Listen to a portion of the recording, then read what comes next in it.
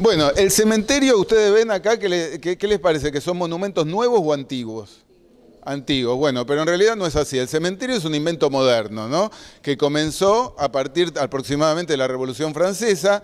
Los cementerios públicos son del siglo XIX, es decir, un invento del siglo XIX. Nos puede parecer muy antiguo, porque ustedes van a estudiar cuando lleguemos al siglo XIX, que en el siglo XIX el arte, la arquitectura, la escultura, se basaba en imitar lo antiguo. Entonces todo lo que van a ver son imitaciones de cosas antiguas, pero son nuevas.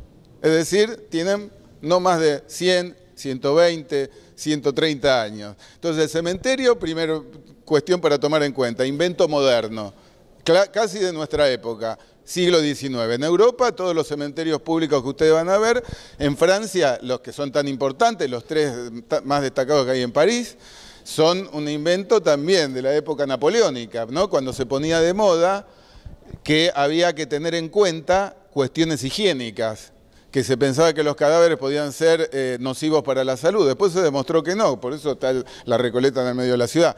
Pero estaba esa idea higienista de sacar el cementerio más lejos de donde vive la gente. Entonces se empezó a prohibir el hecho de enterrar adentro o alrededor de las iglesias. También tiene mucho que ver con la Revolución Francesa porque surge esta cuestión laica, ¿no? que la iglesia ya no concentra todo el poder tanto de, las ceremonias civiles, casamiento, bautismo, muerte. ¿no? Entonces pierde esa hegemonía lentamente y aparece el cementerio público.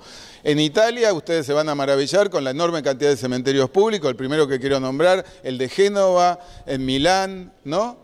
Les nombro el cementerio monumental de, Milán y el de Génova y el de Turín porque muchos de los arquitectos que tenemos acá en Buenos Aires han venido de esos lugares, fundamentalmente de la Academia Albertina de Turín y de la Academia de Brera en Milán. De manera tal que mucha de la estilística que nosotros tenemos en Buenos Aires, pero adentro del cementerio, que es como una maqueta del universo, tiene que ver con esa estilística no propia de la Italia del siglo XIX, ¿no? Entonces, eh, en esta entrada este, vamos a comentar un poco del propileo donde estamos presentes, pero en el siguiente corte.